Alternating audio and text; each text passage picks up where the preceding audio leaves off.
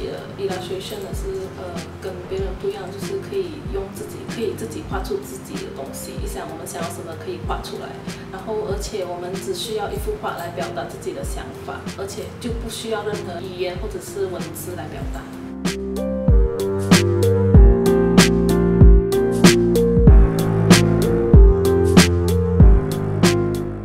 我觉得我最大的弱点是耐心呢，因为有时候可能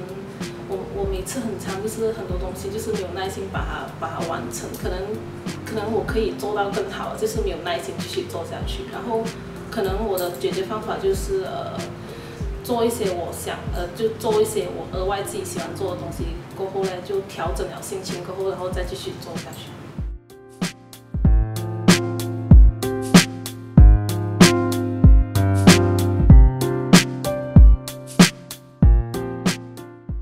空的时候啊，就可能就看戏哦，或者是呃看电影之之类的，然后看书也可以。如果有更多时间的话，就会去书店啊，或者是去旅游之类的。然后我有额外学一些呃，想学一些 fine 那种刻刻画之类的东西。